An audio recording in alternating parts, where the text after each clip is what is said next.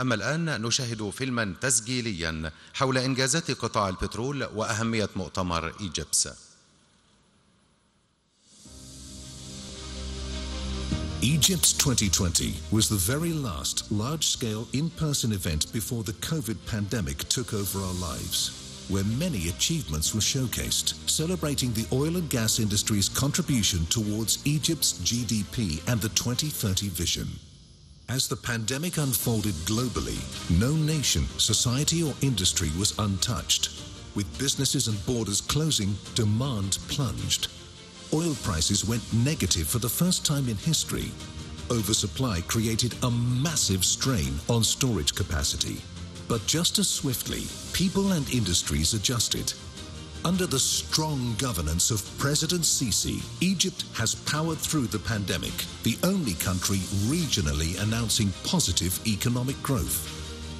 And our sector responded in exemplary fashion. Domestic energy supplies remained flowing. Export of LNG carried on apace. Infrastructural expansion and conversion of cars to CNG continued, and international partner investments increased. North African and East Mediterranean nations have moved closer to monetizing their gas markets, fostering economic growth and prosperity regionally. Discoveries of natural gas reserves promise to provide millions of citizens with access to reliable and affordable energy.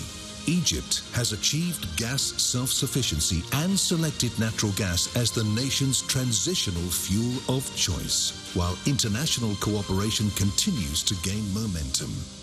The EMGF has gathered global recognition as an engine for stability and peace. New members have joined the forum, and the Gas Industry Advisory Committee is engaging the private sector to explore natural gas decarbonization and clean energy initiatives. COP26 in Glasgow brought recognition that our industry is pivotal to the energy transition. As we continue to deliver upon the energy needs of today and look to the future, major companies are simultaneously changing their business to play their part in the transition to a net carbon-free energy system. Linking climate-conscious hydrocarbons to all forms of energy transition and energy efficiency. Promoting industry collaboration, transparency and inclusion.